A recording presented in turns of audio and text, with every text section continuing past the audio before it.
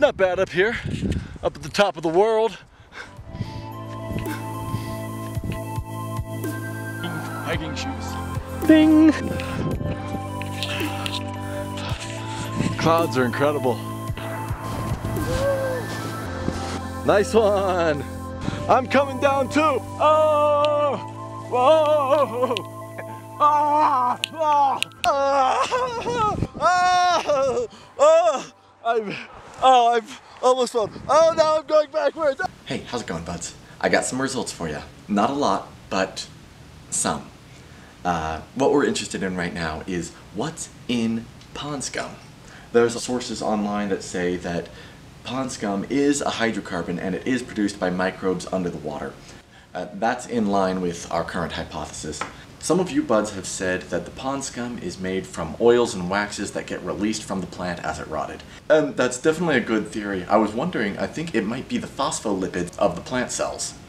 And so I subjected it to phosphorus reagent number 3 test. If there was any amount of phosphate in the liquid, it would have turned bright blue. Uh, but it didn't, and that's a good sign. There's no phospholipids. I tried the iodoform test on it put iodine and sodium hydroxide in a container with the pond scum and the water.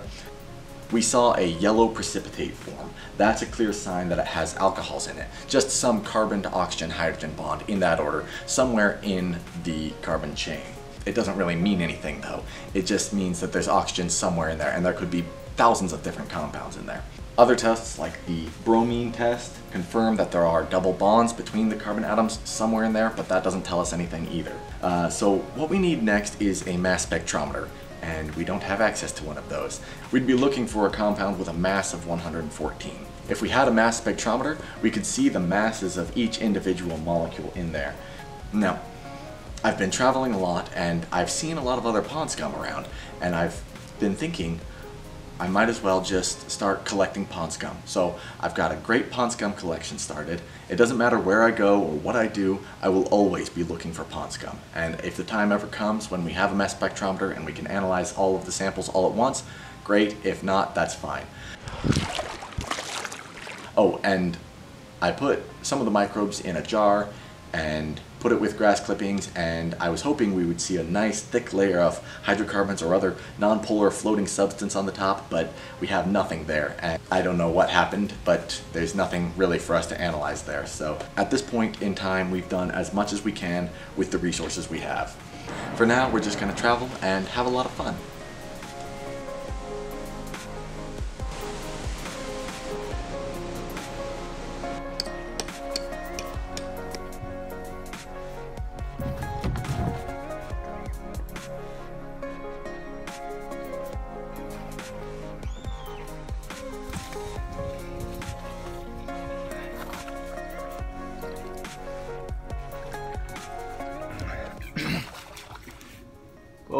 Was that?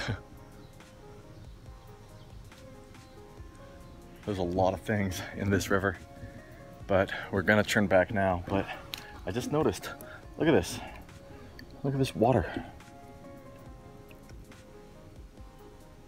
It has a little bit of that blue color to it. Look at that. So I'm gonna harvest a little bit of this pond scum it looks like the the plastic is repelling it a little bit.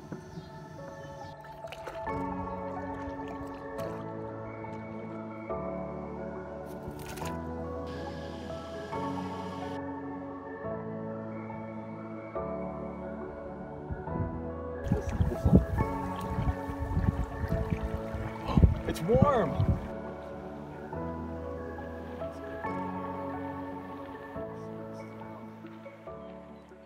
Alright, and now we're back at my setup. I got my samples, got a lot of good ones, and I don't know if they're really gonna help with anything or not, but it's just a fun experiment, and this was just a good trip in general. And I'm gonna keep these in the fridge so they don't biodegrade. And I hope you buds enjoyed. I'll talk to you later. Bye for now.